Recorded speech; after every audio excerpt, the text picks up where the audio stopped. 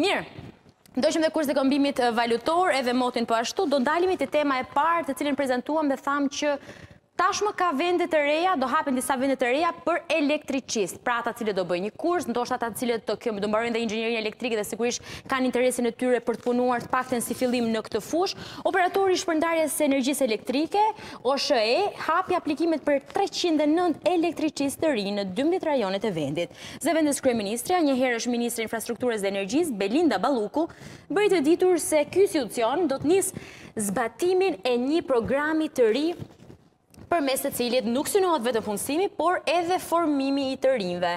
Ajo ka thënë që është shumë e rëndësishme që të hapim një thirrje të re për punësimin e të rinjve, të cilët do të jenë e ardhmja e OSHEE-së. Nuk e dimë nëse Kjo vjen për shkak edhe të largimit të tyre jashtë vendit, pra të elektriçistëve jashtë vendit, ndoshta mungesës së interesit të tyre për të punuar në këtë sektor që ka krijuar edhe hapësira boshe në këtë treg, apo ndoshta një lloj investimi që do të bëhet nga ana e ministrisë në këtë sektor. Tani, diçka dihet ndoshta edhe nga përditshmëria, si për ju, për ne, për të gjithë pra që jemi ulur për të biseduar në këtë mëngjes, që Sot është e vështirë të gjesh një elektriçist, një elektriçist apo një hidraulik, apo profesionet të cilat janë profesione të tilla, është goxha e vështirë që të mundesh të gjesh një profesionist, madje edhe nëse do të kontaktosh dikë, po, do të të shtyjë, do të të shtyjë, do të të japë një datë tjetër, më pas atë datë do ta bëjë në një datë të dytë, e tjerë, e tjerë.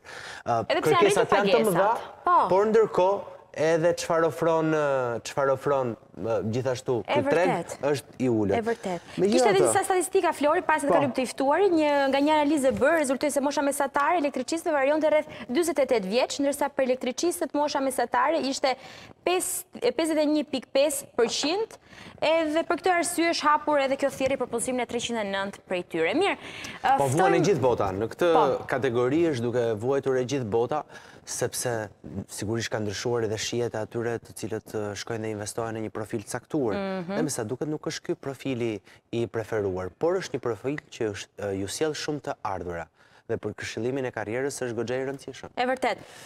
Azmer Duleviç e kemi bashkë në këtë lidhje. Eksperti i energjitikës është me ne, mirëmëngjes. Je bërë mik emisioni, nuk të prezantojmë më në kuadrin e çfarë fushe vjen Azmer më në këtë program. Mirë, Azmer, fillimisht le të të pyesim për këtë thirrjen që ka hapur OSHE-ja. E sheh si diçka të domosdoshme që duhet bërë në këtë moment, është nevoja për të pasur elektriçistë të rinj në treg?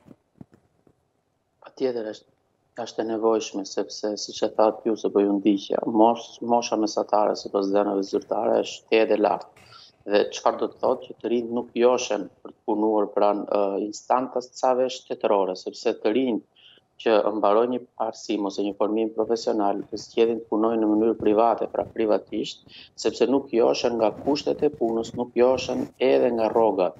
sepse nji elektriçist ose nji faturist ai që vjen që shikon matësin elektrik çdo muaj fillon rrogën me treqind e shtatëdhjetë mijë lekë të vjetra pra është nji rrogë shumë e ulët krahasuar me shpenzimet me rrogat që mund të marrin në sektorin privat. Tani besoj duhet ta kenë rritur për sa kohë që është rritur edhe paga minimale.